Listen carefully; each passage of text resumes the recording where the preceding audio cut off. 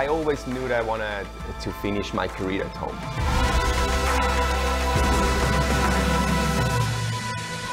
I grew up uh, doing uh, the Iron Kids race uh, at the Landiwiese in Zurich, and my grandma lived at the course. We always went back on Sunday and watched the Ironman. And 2012 was my first Ironman, but four weeks out of the race, I was the first time on a time trial bike. So uh, let's say preparation looks much more ideal now than it did back then. Somehow I look back to that day uh, almost like the stepping stone into a new career. I always knew that I wanted to finish my career at home. I feel fulfilled with what I've reached in, uh, in sport. You know, I'm, I'm happy where I'm at, I'm at because um, whatever comes on Sunday is a bonus. I mean, as you said, I've finished so many times on the podium, second, third, fourth, fifth in Zurich.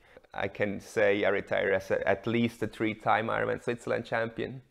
So that's already, when you will look back at the guy doing the first triathlon at Iron Kids and would tell him, hey, you will one day retire as a three-time champion, I'm fairly sure that the small little Jan would say, where can I sign?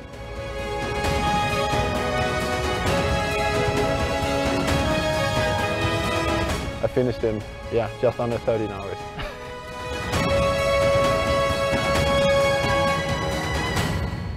My first Ironman was in uh, Switzerland back in 2015. I had just started medical school at that time. I was like so immersed with all the, um, yeah, with all the studies, but I felt like I still needed to embrace my, my physical side of things. So then, uh, you know, it's, yeah, for me it's all or nothing. So I just signed up for an Ironman immediately. And, uh, but uh, I had the studies, so I didn't have time to train much. I finished in, yeah, just under 13 hours. signed up for another one uh, next year. Then I did much better. After that, I, I chased my Kona qualification. Then I had sort of like a breakthrough a year as an age grouper yeah, won every race, including Kona as an age grouper. After that, I felt like, you know, yeah, I gotta, gotta make it a, get a shot as a pro. Been struggling a little bit since South Africa with, uh, with sickness, trying to find my fitness, but, uh, but now I feel like I'm on, on the right track. It's just gonna be like super fun racing and uh, yeah, let's see what we can do like with, with basically no pressure. I think, uh, you know, back to where it all started, uh, basically in, in uh, 2015 when I did my first triathlon.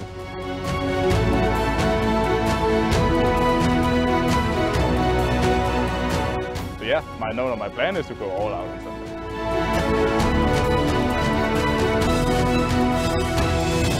Like uh, the plan was actually always like for all the time to do Austria as a warm-up race and this be the A race. So for some reason I perform well at warm-up races. Uh, I think the form is good and I have a, like had had some good training sessions, but I've also been a little bit sick since Austria and like either I'm flying on Sunday or yeah, you'll find me in the post-race tent a little bit early.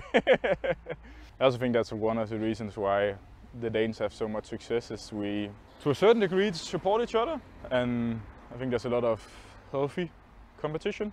Like we want to beat each other, but we want to beat each other at our best. If I'm at a race, I'm gonna race. Maybe I can take a little bit more chances, but again, like when you're out there, it's not like you're thinking like, oh, this is a good chance. Like most of the time, you're just like racing the race. So yeah, my no, no, my plan is to go all out on Sunday.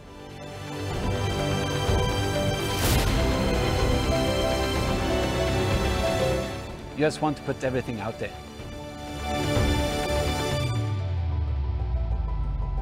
I did a small local trail triathlon in Sweden. Uh, it was very cold in the waters. I remember doing like backstroke and butterfly and all kinds freaked out and panicked. Uh, but had fun and got hooked on triathlon, definitely. Did my first Ironman, I think in 2012, 2013. I see myself as a runner as well, especially I think for the last 5 or 10k. Uh, I'm usually able to keep the pace. Uh, I like two days before the race to like have a day off or maybe train in the morning, do a swim or easy run, but day off, lay in the bed, relax, like feel focused. The day before, it's always things to do. You need to check in the bike, you need to do all the stuff. But I'd, I also like to do some swim, bike and run just to feel good. I mean, once you cross the finish line, that's, that's amazing. You feel, you just want to put everything out there. You want to feel that okay I did everything I could if that ends up being a fifth or sixth or tenth or I don't know fiftieth place it doesn't really matter as long as you could give it all and really try. Uh, hopefully it's enough for a win or at least podium.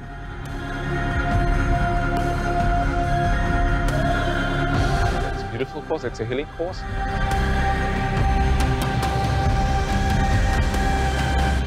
Yes, yes, yes, you don't have to finish a question. Yes, I try to repeat my victory, of course. I mean, you, you, you want to feel it a, a, second time. So I did my first triathlon uh, at the age of 16.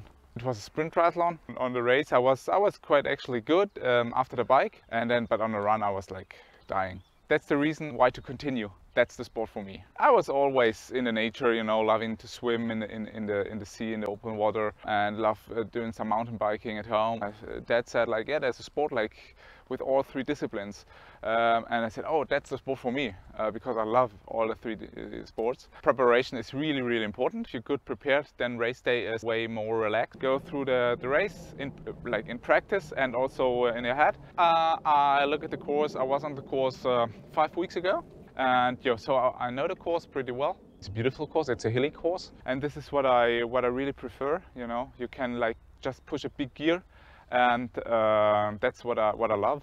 And yeah, that's what suits me the most.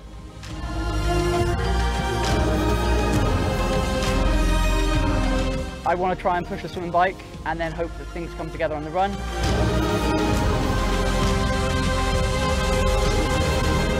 Come from a swimming background, so I basically raced 15 years as a swimmer and then decided in sort of like 2015 I'd had enough with kind of swimming. Um, made the shift over to triathlon 2018 um, and then yeah, just uh, trying to make my way make my way up in the pro ranks now. So it was actually I watched the 2017 Ironman World Champs in Kona. I knew uh, Lucy and Reece, Charles Barkley back from the swimming days, so similar ages to them. Yeah, that just kind of sparked my like, oh, what is this Ironman thing? And then a bit like every amateur has, it's kind of that like, I think I can do that. That looks like a fun challenge. And doing 15 years in competitive sport, that itch needs to be scratched. Yeah, it's a, it's a beautiful course, uh, amazing atmosphere. And I think what's really nice is it's the last like European qualifier for Ironman World Champs in Nice. I want to try and push the push the swimming bike and then hope that things come together on the run. And I'm just trying to keep chipping away. I feel like if I put myself in the right position all day, uh, I should be, you know, right at the pointy end of the race and if that gets me near the podium or within the top five, you know, that would be a, a really solid day for me. But I definitely want to be competing, uh, hopefully, right at the top.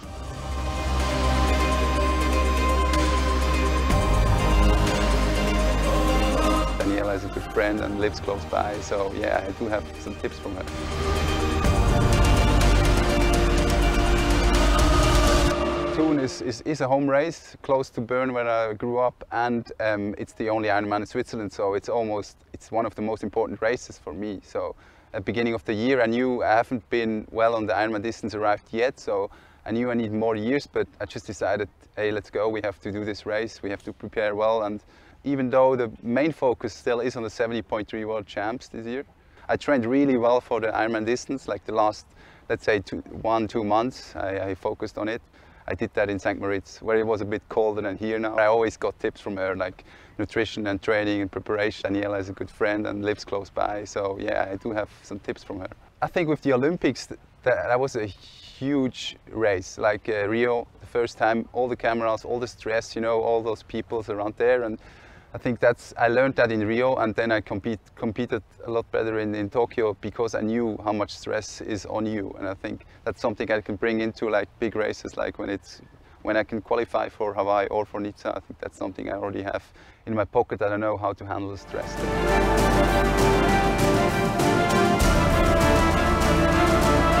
My swim bike combo is for sure in the, the world top.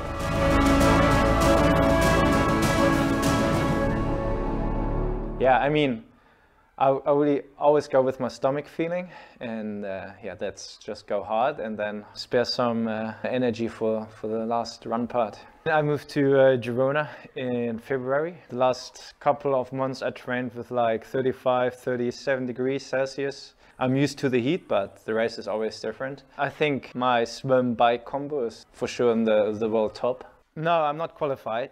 That's one of my uh, yeah my reason, main reasons for Sunday to qualify for Nice. I think, especially as a good uh, cyclist and downhill as well, I'm well. I can see myself competing really well in uh, Nice. I want to win on Sunday, so that's that's my my reason and my my goal to be here. Triathlon uh, community is just super friendly, super open for every everyone, everybody had a kind of a dep depression after my cycling career. Triathlon community just yeah welcomed me with open arms, and it was just a beautiful act. And I think triathlon is such a nice sport. Everybody does it. Everyone does it together, so that's nice.